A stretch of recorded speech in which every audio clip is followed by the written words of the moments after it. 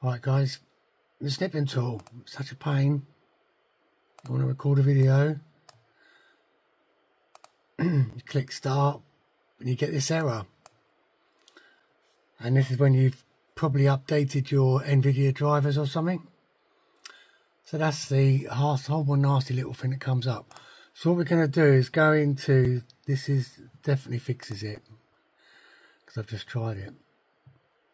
So go into the display graphics settings and here we choose the Microsoft Store app and then browse.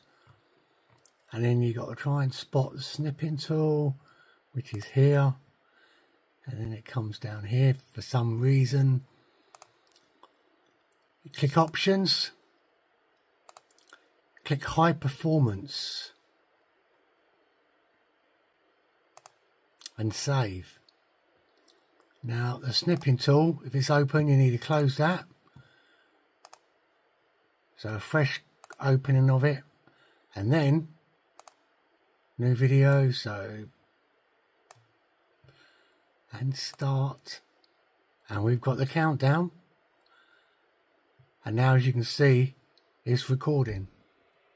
It's working